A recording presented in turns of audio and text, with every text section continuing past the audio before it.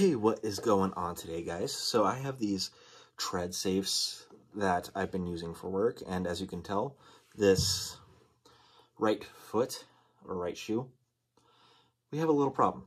And um, so yeah, I'm probably going to throw these away because uh, these are no longer good to use. But um, I was going to see if I can manage to possibly get the same thing to happen to this other shoe, which I highly doubt it will without a lot more um, just work.